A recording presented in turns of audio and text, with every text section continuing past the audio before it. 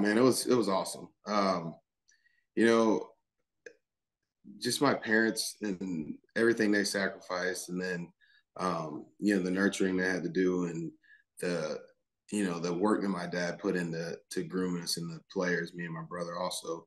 Um, you know, it was it was a special moment. It was like a full circle moment. So, um, you know, just really enjoyed the moment with my family and friends, and you know, after that, I mean, it was it was a little while before I got to go play, but it was it was back to work at that point. He kind of um, paved the way for me. Um, not only put you know help put Virginia on the map, you know, our home state, but also, you know, I was in the background going, "Hey, I'm here too," you know, while he was going through the process. So um, he kind of put me on the map also. So I, I, have to give him some credit, but at the same time, I did beat. You know, they they they were always putting us first. So it was, you know, if there was something financially that needed to be done at home, but you know, there was a tournament that we needed to play in. I mean, I don't know if it was the smartest move in the world, but they always, you know, sacrificed you know their wants for our needs and and putting us in the right positions and putting us in the right situations to succeed. I remember that call. I remember you know not getting any sleep that night. Um, you know, trying to catch an early flight to San Diego. Um, I and I, remember you know just as a whole just being nervous about the opportunity. You know, I you know obviously something you wait for your whole life, but um, actually it happening and you having to perform. And it, there was there was definitely some nerves there, but um, you know the jitters were something I had to shake because we were kind of in the same situation this year's team is, where a lot of young guys playing well uh, in the playoff hunt, and um, you know when you get to the big leagues, it's, it's, business, so you have to you have to perform. And um, I just remember it being probably one of the better times of my life. I you know some of the young guys that I came up with are still friends today, which is, um, you know, you don't know it at the time, but you're you're making you know lifelong friends. I think throughout my career, you know, I thought back on uh, coaching moments, some of the you know good coaches, great coaches I had. Um, you know, coming up and and Bob Melvin to this day is still one of my favorite uh, favorite managers that I played for. Um, just the way that you know and also some of my older teammates that kind of showed me what being a major leaguer was all about. Um, you know, some of those relationships were all, you know, were all in an Arizona Diamondback uniform. So, you know, I look back on the player I was molded decent coaches. Um, Arizona was the starting point of that, and, and I was I'm grateful that I had that opportunity. I have to break that into two two separate. Um, I think the best overall pitcher I faced, um, you know, throughout my career is Clayton Kershaw. Um, I don't know why that dude never let up on me, but uh, you know, all throughout my career, I always, you know, had tough at bats against him. Um, but yeah, Clayton Kershaw's got to be my number one. But as far as stuff, I mean, it's a shame that um, he won't be pitching. They didn't pitch in the playoffs, but um, Jacob DeGrom, man, uh, it's it's a special talent. It's probably the the most electric pitcher I've faced. Um, if he could stay healthy, man, it, you know, baseball needs guys like that because he's you know a general generational talent on the mound. Um, you know, I just I hope he gets healthy and shows everybody that he's that guy. Well, I think I think the D-backs um, they were waiting on some young talent, which you know, finally showed up and, and played well. Um, you know, I, I, see some of these organizations now, and and they're starting to draft, you know, not only high ceiling talent but high floor talent, with guys that they know can, are going to play at the big league level and can contribute, and also guys that you know can can not only contribute at the big league level, but if they're you know if they mature properly, they're going to turn into superstars. You know, guys like Corbin Carroll. So um, I think that's you know they had an influx of young talent. Also brought in some uh, some veteran pieces. I, I, you know I love the Tommy Pham move, uh, bringing him in, a guy with a little bit of you know edge to him. Um, Evan Longoria, also a guy who's played in the playoffs.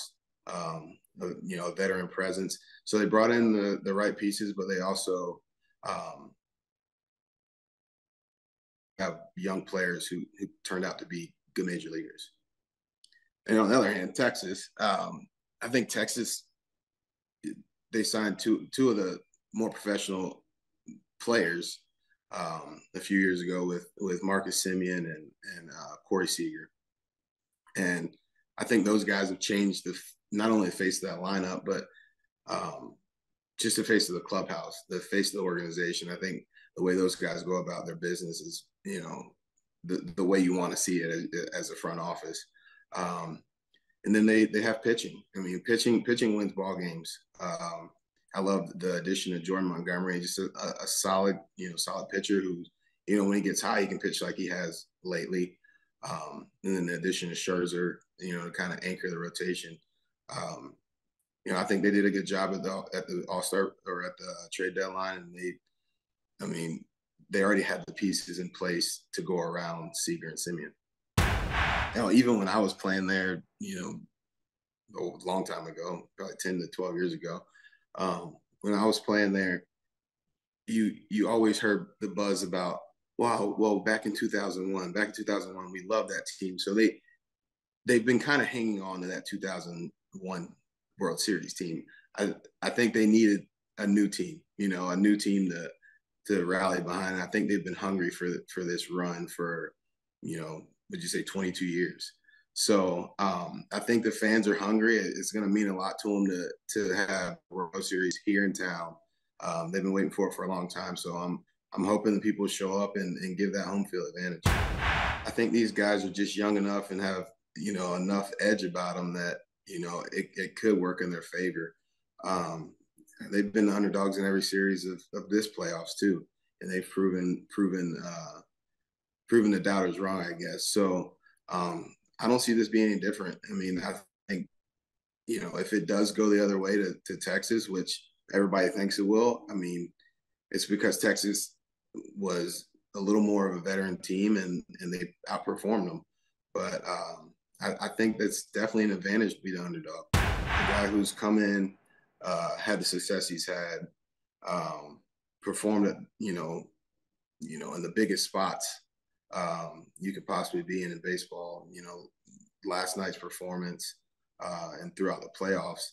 Um, when you look at it on paper, he looks like the you know the the perfect face of your franchise. And I, I you know, throughout people in baseball come in come into contact with him, I personally haven't, but you hear great things. You hear, you know, he prepares well. Um, you know, he sleeps, eats, and breathes baseball. He's a baseball guy. So um, I think what we're seeing is just the tip of the iceberg. I think he's going to be, um, I think he should be in Arizona for a long time, and I think he's going to be a pretty special player. I played in the same division just a few years ago. Um, you, you could see the talent there. I think for some people, it just takes longer to make those adjustments. And I, you know, the talent was 100% always there. Um, I remember games he had against us when I was in Anaheim that I was like, this guy's special. But um, to put it all together is a little bit tougher. And I think it's coming together for him, whether it's, you know, at 22 years old or at, you know, 31, it doesn't matter. Um, as long as you put it together at some point. And what he, what he did this past series is, um, obviously it's a record, but, um, you know, kind of anchoring that team and getting them to the World Series was was fun to watch. Well, it's been a while since the the Rangers have been in the uh, World Series, so I think the crowd will be excited. I think there'll be some nerves on the Arizona side, and um, you know, with the veteran presence over there in that Texas uh, Rangers clubhouse, I think they take Game One.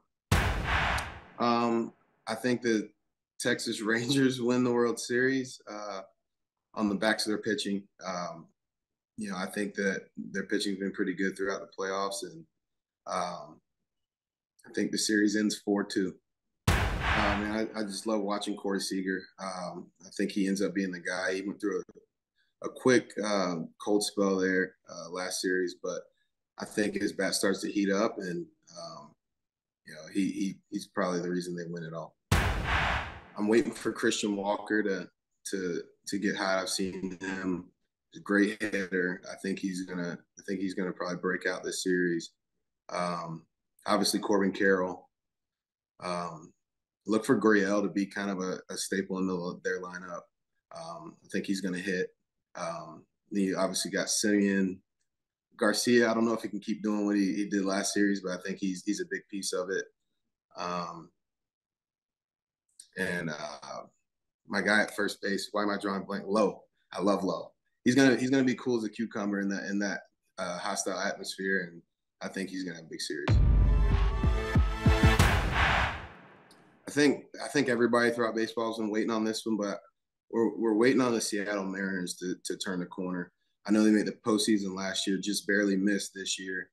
Um, you know, it, it, was a younger roster two, a couple years ago. It's they're starting to a few of them starting to become veterans. Uh, they added a couple younger pieces this year um, that came up and had a little bit of an impact. So um, I'm I'm going with the Mariners, man. I feel like they're you know I, have obviously been in that clubhouse last year. I was a part of the team for a little bit, but they have so much young talent there and, and great pitching. I think uh, I look for them to turn the corner. Honestly, a few like the the the base thing. I think as a player, it's something they probably got used to probably by end of spring training or you know, you know, early in the season. So I don't think that was as big of a uh, change. The, the pitch clock, I think, um, had a definite effect on the game. Obviously, the games were faster. Um, the pickoff rule, we saw stolen bases go up, which is more exciting for fans. Um, you know, we saw a guy steal what 70 bases. So, it, I mean, if you're a fan of that, I think it you know, it had the right effect on the game. So um, through a year, I think, you know, the skeptics are kind of leaning towards it's good for the game. So, um, hey, it, it's it's the new era of baseball. So, um, you know, enjoy it. I think it should be revisited. Um, I, my opinion, I don't I don't know how much it holds, but from what I'm seeing, uh, you know, you look at the Dodgers and the Braves, who are two of the better teams in baseball all year long.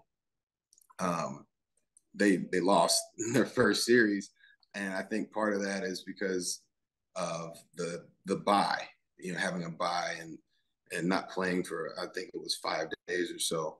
Um, baseball is one of those sports when you miss five days, no matter how hard you try with scrimmages and facing live pitching, you're going to come out flat.